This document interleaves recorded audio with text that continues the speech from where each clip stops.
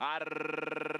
Arrancan los competidores. La partida un poco mala para el número 4, Wadding Sainz. Se fue de mano Frenchman Street en la partida. Viene rápidamente Factorino a tratar de buscar la punta. Tiger Blood es movido por Edgar Sayas. Viene a tratar de comprometerlo. En el tercero, Cutray Harder. En el cuarto, por dentro, Chat. En el quinto, intenta meterse en la pelea Frenchman Street. Luego intenta recuperarse Wadding Sainz. Mientras que el número 1, Combative, se ha quedado en los últimos lugares junto a Sturgeon. Dominando el favorito Tiger Blood. Saca ventaja de dos cuerpos. En el segundo, Cutray Harder. En el tercero viene pasando Freeman Street en 21-1. El parcial para los primeros 400 metros. En el cuarto intenta meterse Wadding Sainz. En el quinto se queda Factorino. Más atrás aparece Chat junto al número uno, dominando Tiger Blood la prueba cuando ingresan ya a la recta final de Gostring Park. Cutray Harder sigue presionándolo por la parte central de la cancha. Tiger Blood se defiende en punta. Cutray Harder por la parte externa viene a buscarlo. Está a tres cuartos de cuerpo. Cutray Harder contra Tiger Blood que se defiende. Domina Tiger Blood. Cutray Harder por la parte externa contra el puntero, pero tarde. Ganó Tiger Blood de punta a punta. Segundo Cutray Harder. Tercero Chat. Cuarto para el Empire What.